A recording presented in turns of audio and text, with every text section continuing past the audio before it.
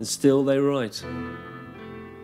Those out of you are out of luck, at least that's what I'm told. Because God and you mean things to do, dubious morals to behold.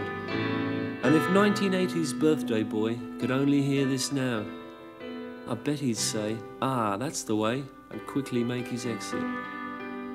You see, Christmas and New Year mean nothing to me. The thought just makes me sick.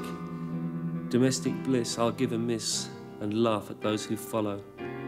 Courting couples, domestic squabbles, just playing happy families.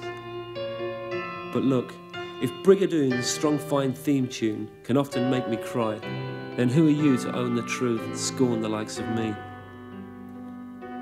So talk about strength, and I'm all for that.